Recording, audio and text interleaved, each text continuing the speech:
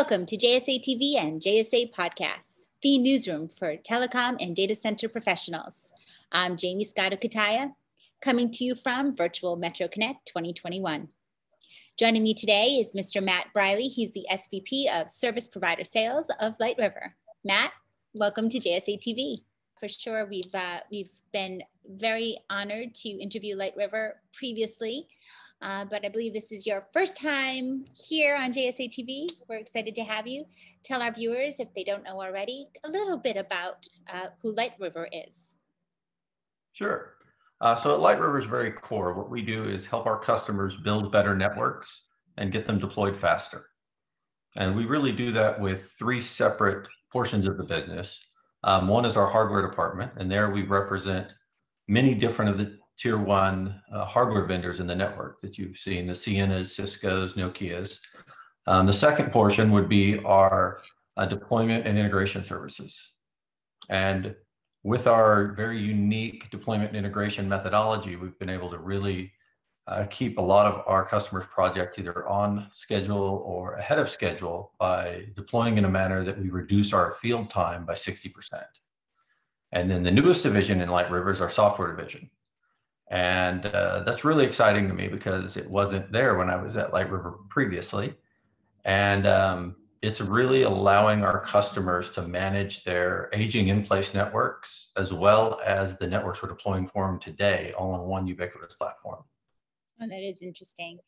Well, let's talk about that software enhancement in just a second. But first, you mentioned you've just recently rejoined LightRiver to lead that sales team in the service provider space. Can you tell us a little bit more about your history with LightRiver?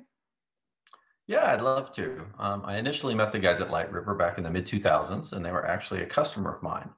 And then when I was transitioning out of hardware sales, um, Glenn asked me to come work for them. So in 2010, I joined LightRiver and was there for four years and learned a lot and really enjoyed working with the team. Uh, but then Nokia came in and uh, kind of pulled me out. They offered me a, a really interesting position in North America to run their optical business. And it was a kind of a large position, and I felt it would really challenge me. I felt it was something I really needed to do.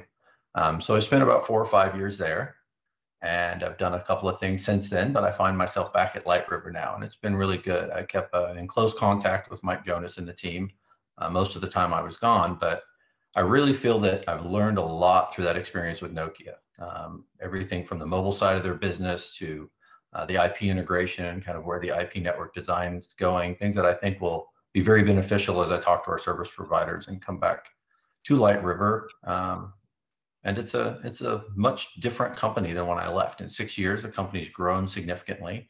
Uh, they brought on the software team, and uh, this the things they're able to do for customers have really matured.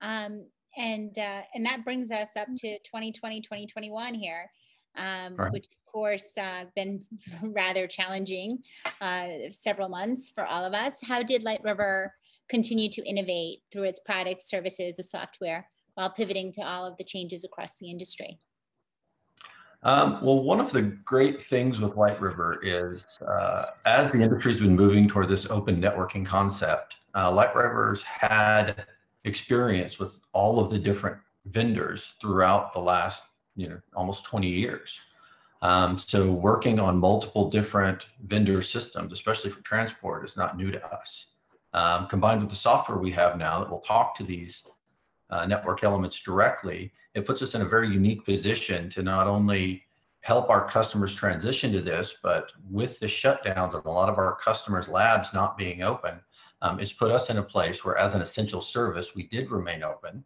So we could set up remote testing sites or even execute test plans for our customers and allow them to continue to move forward even though their physical offices were closed. Obviously, their networks weren't. Love that. Um, so resiliency uh, up and running even during these uh, crazy times. Um, and of course, the good sense to bring you back onto the team. a lot of great things going on. We also yeah. have to mention Alien Aware Networking. Um, we had a, a, really fabulous JSA TV there that uh, that folks should definitely check out. But tell yeah. us more some other exciting developments that we might be watching LightRiver for this year. Sure. Um, again, one of the big things is open networking, and Uh, the thing that I really like about our software arm now is we use the same software platform to enable the alien aware networking you've been talking about on open ROADM and open uh, DWDM systems that we do to talk to some of the tier one vendors who are no longer with us, the Nortels, the Tellabs, the Alcatels, the Lucents. We can still manage all of those systems and almost all of our service provider partners anyway, um, still have those systems in their network. So we've been doing a lot to work with those companies on a network transformation. Um, in addition, our deployment side has gotten very creative in ways that they can help our partners speed up deployments. Um, typically, we do what's called a factory built network, where we'll receive the equipment from a vendor, uh, we'll build, test, label, set up that equipment in our factory, and then we send it out with our deployment teams to deploy. Uh, what we've been able to do for some of our customers who have their own field deployment teams, but don't necessarily have the time to train them on every new piece of equipment that comes out, is we can do the build for them in the factory and then ship that pre-built to them for their, their field engineers to install. So it's more of a hybrid model. Hmm. Um, so we've been working with our customers to just find ways that we can help accelerate plans that they already have in place and maybe provide synergies and efficiencies that they wouldn't normally have available. I just love that. Truly network transformation in a box, if you will. Right. So, okay, for our viewers who definitely will want to know more information, where can they go? Uh, so you can obviously go to lightriver.com and uh, several of us are registered for Metro Connect. You've got myself, Mike Jonas, I believe our CEO, Glenn Johansson. So you could click to have a meet with any of us at Metro Connect and we'd love to talk to you. Oh, well, thank you, Matt. What a wonderful job. Thanks for all the great information here. Thank you, viewers, for tuning in to JSA TV and JSA Podcasts. And as always, happy networking.